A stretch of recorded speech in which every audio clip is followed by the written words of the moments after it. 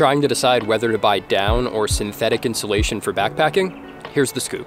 For starters, down insulation is lighter than synthetic, so choosing down gear is a great way to lighten up your base weight. It also compresses much better, so you'll save room in your pack. Furthermore, down has a longer lifespan and will typically last many years, if not a lifetime, whereas synthetic insulation tends to lose more of its loft with repeated compression. Synthetic is not without its advantages though, the first being that it's generally cheaper than down, which is great news for somebody that's on a budget. It also retains its loft better in wet or humid environments, whereas down will lose more of its loft when it gets wet. Finally, synthetic insulation usually deals with damage better, as it often comes in sheets and won't spill out like down would if you tear the outer shell. For most people, I recommend investing in high quality down gear that will basically last you a lifetime, unless you're planning an extended trip in wet or humid conditions. Hope this helps you stay warm and toasty on your next adventure.